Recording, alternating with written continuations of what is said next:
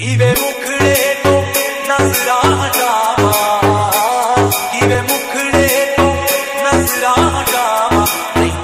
दिनों बाद आया हूँ अब होगी गुफ्तगू।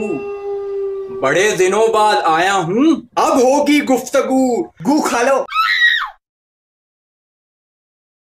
हैं? भैंस हो क्या? हैं? क्या कर रहे हो?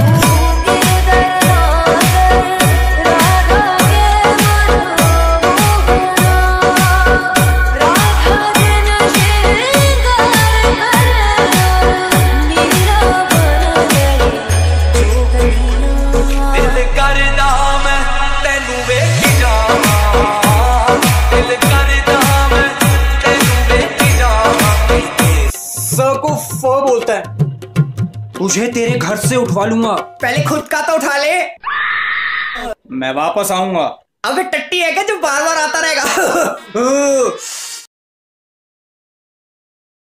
नहीं तेरे जिया